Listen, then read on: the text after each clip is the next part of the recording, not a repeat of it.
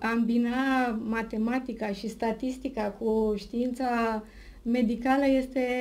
o cerință iarăși din ce în ce mai mare pentru pacienți, iar softurile de inteligență artificială ne oferă această posibilitate să fim poate un pic mai uh, preciși uneori